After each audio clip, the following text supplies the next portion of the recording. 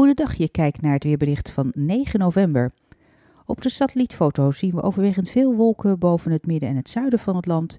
In het oosten en noorden zitten nog wat opklaringen. Vanochtend is in Groningen, Friesland en Drenthe de zon nog af en toe te zien, maar in het midden en zuiden is het overwegend bewolkt en in het zuiden regent of motregent het.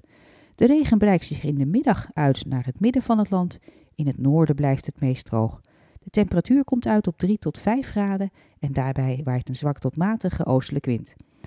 Vanavond blijft het in het midden en zuiden grijs en regenachtig. In het midden is kans op natte sneeuw. In het noorden daalt het kwik tot rond het vriespunt. Morgen hebben we dezelfde tweedeling tussen het noordoosten en het midden en het zuiden van het land. Het noordoosten blijft droog met af en toe de zon erbij en 3 graden. In het midden en zuiden is het bewolkt en soms ook nat. Op vrijdag blijft het overal nagenoeg droog en wordt het 5 tot 8 graden, bij niet al te veel wind vanuit het zuidoosten. In het weekend is het weer ronduit wisselvallig en ligt de temperatuur tussen de 5 en de 7 graden. Ik ben Diana Woei van Weerplaza.nl.